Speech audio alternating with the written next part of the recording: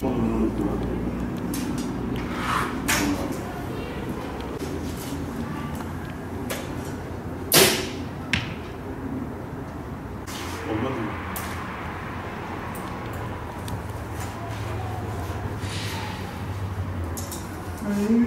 Okulların kapanmasıyla beraber e, kurumumuza, il müdürlüğümüze e, yoğun bir talep olmakta. Her branşta, 54 branşta hizmet vermekteyiz benim bildiğim kadarıyla, sayabildiğim kadarıyla. E, Biz okçuluk olarak da yoğun bir yaz geçirdik. E, 500'ün üzerinde öğrencimiz sirkülasyon oldu. Bu öğrencilerin içerisinden de e, okçuluğu seven, devam eden öğrencilerimizi performans gruplarına yıl içerisindeki yaptığımız antrenmanlara davet ediyoruz, dahil ediyoruz.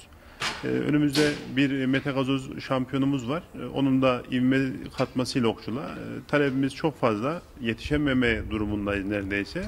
Haftanın her günü sahamızda antrenmanımız var.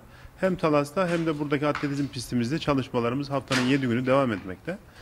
Ee, yaz okullarından yetişen öğrencilerimizin de 9-10 ve 11-12 yaşındaki öğrencilerimizin de bu hafta Samsun'da yapılacak olan e, Minikler Türkiye Şampiyonası'na hazırladık.